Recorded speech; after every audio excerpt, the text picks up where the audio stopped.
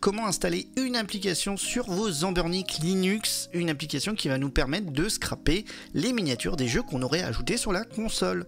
On va retirer la deuxième SD de notre console. Pour cet exemple, je prends la RG35XXSP.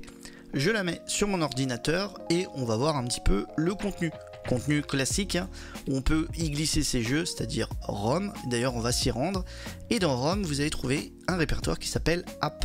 Normalement, vous avez rien, mais bon, si vous avez des applications, c'est pas grave. On va rajouter une application sur notre OS Ambernic original. On va aller sur mon site internet, je vais prendre justement la console en question, la RG35XXSP, mais il faut savoir que ça marchera aussi hein, sur les autres Ambernic, du moins avec l'OS Ambernic de base. Hein. Je vous avais déjà montré d'ailleurs sur cette console comment euh, eh bien, scraper les miniatures via Scrapper. Ici on va le faire via cette application, c'est encore plus pratique. Du coup on n'a pas besoin, euh, une fois qu'on a l'appli, de reprendre le PC, de sortir la SD, etc. C'est plutôt pratique. On a un zip qu'on a téléchargé, dedans il y a Tiny Scrapper. On copie tout simplement ça et on va coller ça dans ROM et App. Je vous mettrai le lien en description aussi hein, pour télécharger ce logiciel. Une fois que c'est fait, bah, c'est terminé. Il suffit juste de retirer la SD et on va la réinsérer dans la console. Je vais vous montrer un petit peu comment ça marche. C'est relativement simple. Donc, je réinsère ma deuxième SD. Je démarre ma console. Voilà. Ensuite, on va aller dans Centre d'application. Voilà, Centre d'application. On va aller dans App. Et dans App, on va choisir la deuxième SD, hein, donc TF2. Ensuite, on peut voir, eh bien, il y a le logiciel maintenant qui est présent, Tiny Scrapper. Alors, il faut bien entendu avoir euh, le Wi-Fi d'activer et, vous, vous, soyez connecté, puisque ça va récupérer les images hein, sur Internet. Hein. Sinon, ça ne marchera pas, tout simplement. Une fois qu'on est dessus, eh bien, ça affiche tous les systèmes présents. On peut les sélectionner avec A pour voir un petit peu s'il y a des jeux à scraper dedans. Vous avez aussi la possibilité de sortir de l'application en appuyant sur M, du moins sur cette console. Hein.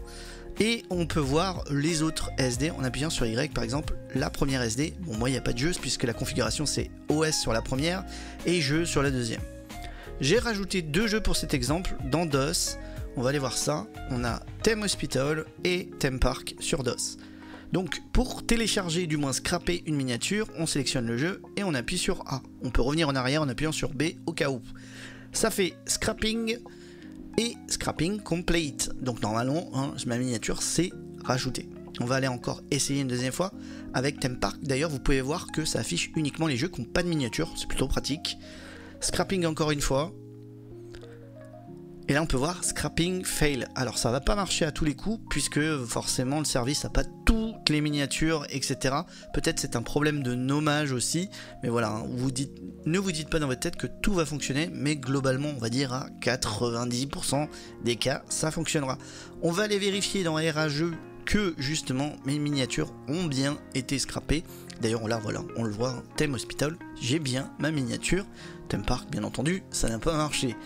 Donc voilà pour ce tout petit tuto très très simple qui vous permettra de scraper vos images depuis votre console en Burnic depuis l'OS original. Bien entendu, hein, si vous passez sur Knolly, tout ça n'est pas nécessaire puisque sur Knolly, vous avez déjà la possibilité de scraper directement depuis la console. Là, c'est juste pour ajouter une petite fonctionnalité pour ceux qui justement resteraient ou préféreraient l'OS en Bien, il y a encore des possibilités hein, de ce côté-là. Voilà les amis, j'espère que cette vidéo vous a plu. Si c'est le cas, n'hésitez pas à laisser un petit pouce, à vous abonner à la chaîne et activer la cloche pour être au courant des nouvelles vidéos. Sur ce, je vous dis à bientôt. Ciao ciao